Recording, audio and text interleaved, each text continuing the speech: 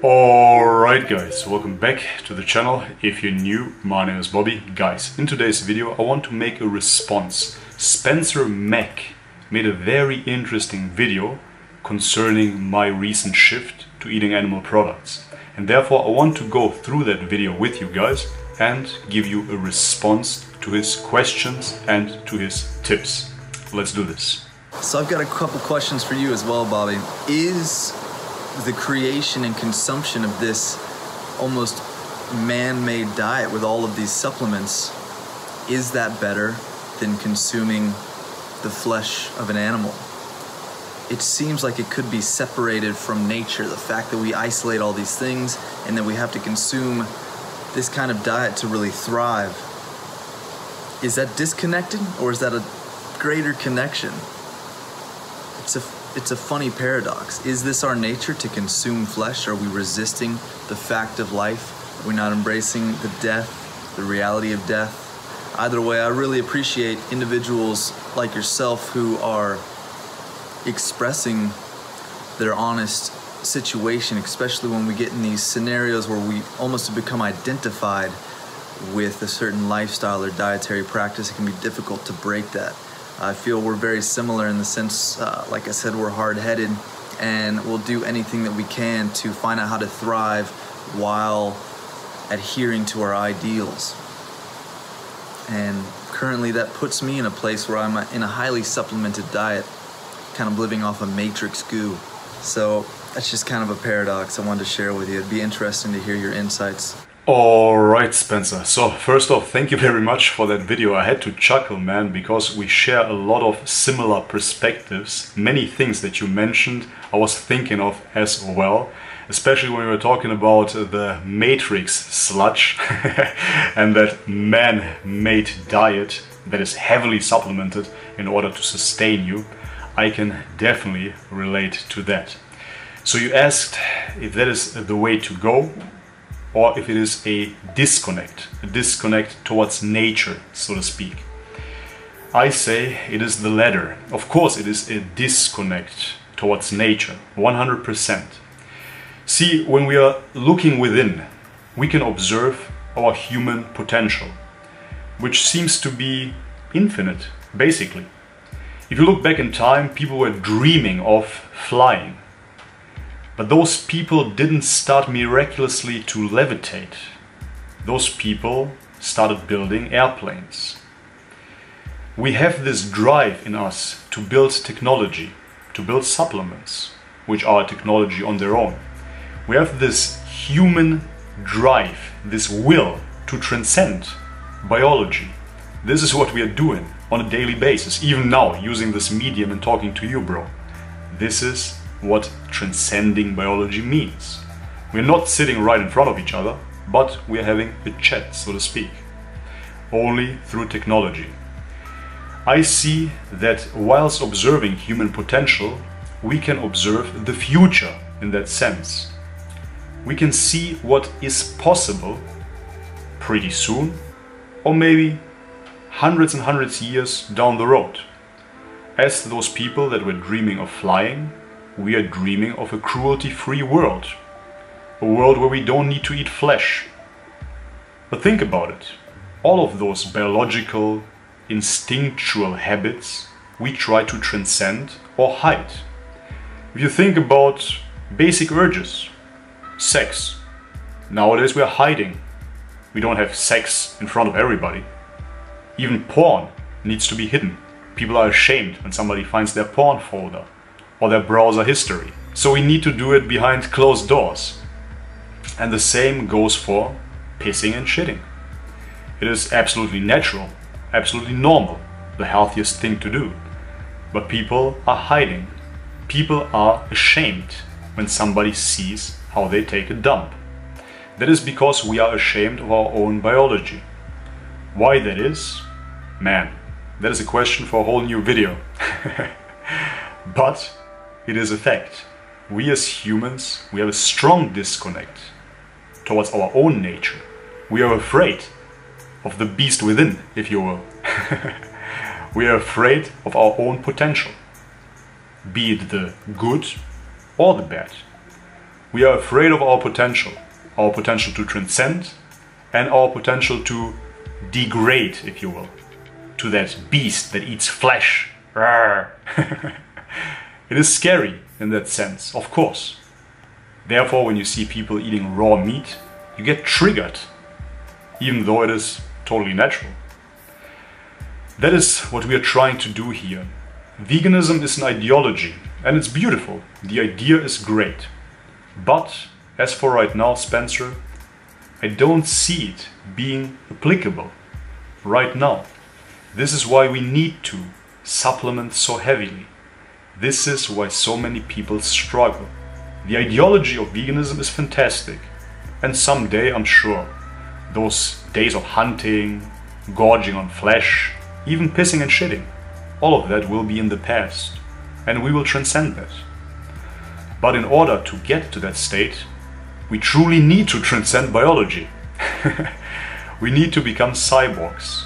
We need to become the robot, a cybernetic organism, something on those lines, in order to really thrive on a non flesh diet. Truly, I didn't want to admit that, but this is where I'm at right now. This is my current state of consciousness. Am I right? I could be wrong.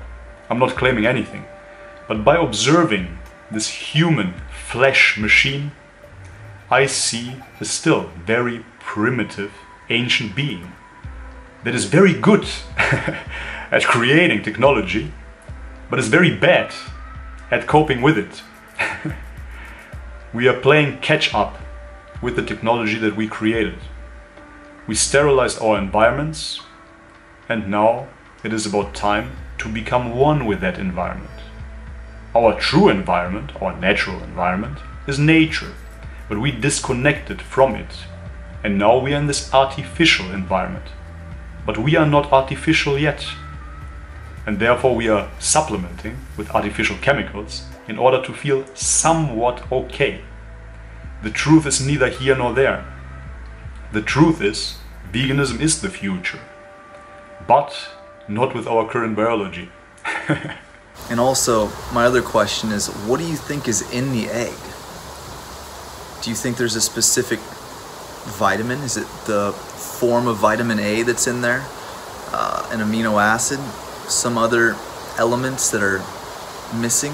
What are they? Could they be quantified and added to the self composed diet? fascinating circumstance we find ourselves in. People ask me that before. They always ask, what do you think it is? Is it the vitamin A? Is it the B12? Is it the choline? Do you think it's the cholesterol? As human beings, we always like to label things to make this experience livable so we can understand what is going on here. Of course, nothing can truly be conceptualized we try to comfort ourselves with labels, with terms.